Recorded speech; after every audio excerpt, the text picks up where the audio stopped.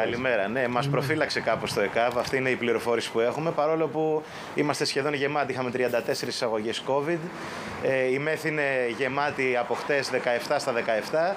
Η ΜΕΘ COVID και έχουμε σήμερα τέσσερις ασθενείς με COVID διασωληνωμένους εκτός ΜΕΘ και δύο ασθενείς non-COVID επίσης διασωληνωμένους επίσης εκτός ΜΕΘ. Κλείνουμε την εφημερία με έξι κενά κρεβάτια απλής νοσηλείας COVID λόγω του ότι μας φύλαξε μάλλον το ΕΚΑΒ γιατί έτσι όπως βλέπω την κατάσταση και σε όλα τα νοσοκομεία μάλλον και εμείς θα είχαμε γεμίσει αν δεν υπήρχε αυτή λίγο ας το πούμε εντός εισαγωγικών προνομιακή μεταχείριση. Δηλαδή από το ΕΚΑΒ ε, δεν σας έφεραν άλλους ασθενείς, κατάλαβαν ότι είστε γεμάτοι και δεν σας έφεραν άλλους ε, ασθενείς. Ναι, λόγω του ότι υπήρχε πολύ αυξημένη προσέλευση στο θριάσιο στην ναι. προηγούμενη εφημερία, επιλέχθηκε έτσι άτυπα κατά κάποιο τρόπο να επιβαρυνθεί περισσότερο το ασκληπείο της Βούλας εχθές παρά το θριάσιο. Αλλά αυτό που θέλω να πω είναι ότι ακόμα και με αυτή την σχετική προφύλαξη πάλι φτάσαμε σχεδόν στα, στα όρια. Είχαμε δείξει τον διοικητή του, του ΕΚΑΒ ε, και η αλήθεια είναι ότι μας έλεγε ότι υπάρχει αυτός ο συντονισμός που γίνεται ώστε να μπορέσουν από κεντρικό σημείο να δουν αν το θριάσιο είναι πολύ επιβαρημένο. Δεν πηγαίνουμε στο θριάσιο και πηγαίνουμε στο ασκληπείο Βούλες. Δεν πηγαίνουμε στο γεννηματάς, πηγαίνουμε στον Ερυθρό.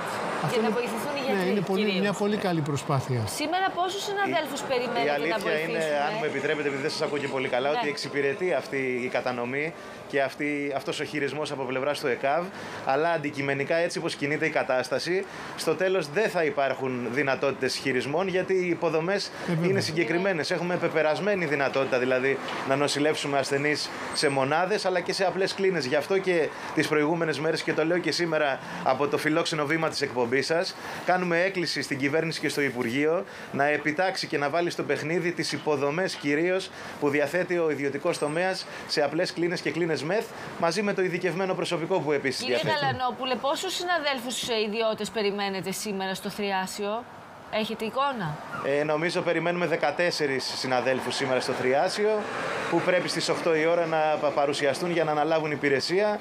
Βεβαίως, όπως ξέρετε και εσείς, είναι συνάδελφοι που ήταν στην πρωτοβάθμια μέχρι σήμερα.